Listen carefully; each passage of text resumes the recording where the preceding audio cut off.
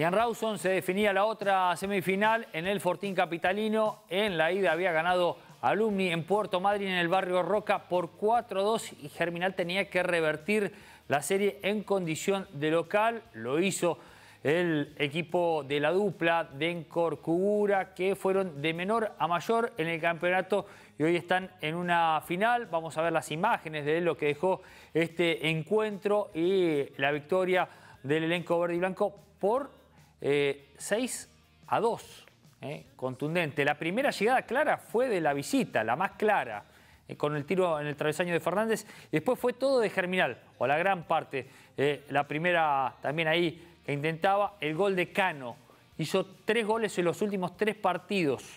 El jugador de Germinal, Agustín Cano, el primer tanto para el elenco germinalista que se iba a ir al descanso con el segundo de penal, penal que iba a convertir Necurueque, que tuvo un gran partido germinal, jugando en muy buen nivel y en el arranque, antes del minuto, iba a conseguir el tercero.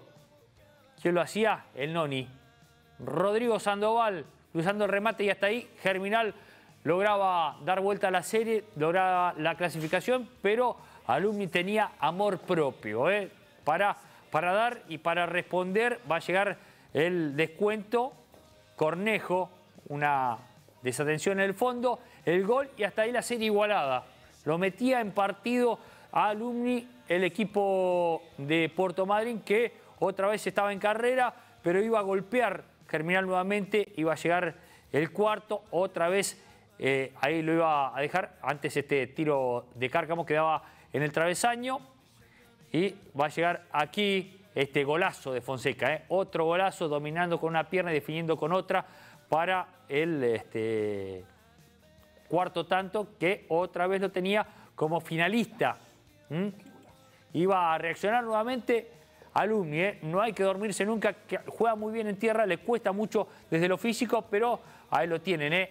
a Helpi, ¿eh? que marcaba el segundo tanto, otra vez la serie igualada, quedaban menos de 15 para terminar el partido y Alumni lograba el descuento que forzaba hasta ahí los penales. Pero Germinal tenía con qué, lo fue a buscar. Vamos a ver el gol de Pellejero, el capitán que domina en el área chica y define con pierna izquierda 5 a 2. Ahí parecía que ya no se le escapaba a Germinal, quinto tanto y le quedaba algo más al conjunto dirigido por Walter Dencor y Juan Cugura. El remate del capitán, gran nivel que mostró Germinal, insisto, en la ida, otro penal, penal a Cárcamo. Definición otra vez de Bruno Neculhueque, con pierna derecha, abriendo el pie para marcar el sexto de su equipo, el segundo en su cuenta personal. Ya no había tiempo para más. Ganó el equipo de Germinal, algún incidente menor en la platea que esperemos que no se repita en los próximos dos partidos, tanto en Gaiman como en Rawson, pero la victoria contundente, precisa de Germinal ante un rival que le puso las cosas complicadas, sobre todo en Puerto Madryn, y aquí en, la zona, en Rawson, en realidad pudo reaccionar, pero no le alcanzó al conjunto de Lucas Bastiani.